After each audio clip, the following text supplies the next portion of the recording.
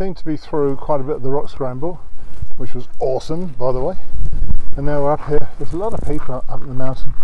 Look at this. Tough to beat that, isn't it? More and more people in the mountain. People hanging out having a picnic up here. Right.